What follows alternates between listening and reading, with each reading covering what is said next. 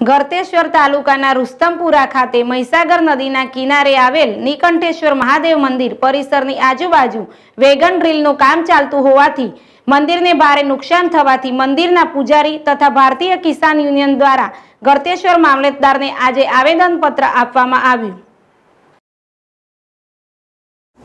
ખેડા જિલ્લાના ગરતેશ્વર તાલુકાના રુસ્તમપુરા ગામે મહીસાગર નદીના કિનારે અતિ પ્રાચીન સ્વયંભૂ પ્રગટ થયેલ નીલકંઠ મહાદેવ મંદિર આવેલું છે. વર્ષો પહેલા જંગલમાં સ્વયં પ્રગટ થયેલ શિવલિંગને ગ્રામજનો અને આજુબાજુના ભાવિક ભક્તો દ્વારા નવનિર્માણ કરીને મંદિરનું નિર્માણ કરેલું છે. પરંતુ ઘણા સમયથી મંદિરની આસપાસ મહીસાગર નદીમાં મોટા વેગન ડ્રીલથી આશરે સિત્તેર ફૂટ ટુંડા ડ્રીલ કર્યા પછી બ્લાસ્ટ કરીને કારા પથ્થર કાઢવાની કામગીરી ચાલી રહી છે. તેના કારણે મંદિરને ભારે નુકસાન થયેલ છે. બ્લાસ્ટ થવાના કારણે દિવાલોમાં મોટી તિરાડો પડી ગયેલ છે.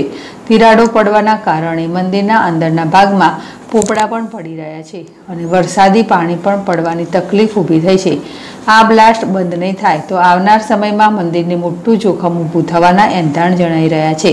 મંદિરને બચાવવા માટે વેગન રીલ બંધ કરવામાં આવે તેવી મંદિરના પૂજારી તથા ભારતીય કિસાન યુનિયનની માંગણી સાથે મામલતદારને આવેદનપત્ર આપવામાં આવ્યું હતું. રાકેશ મકવાણા જેડેશ ટીવી ખેડા.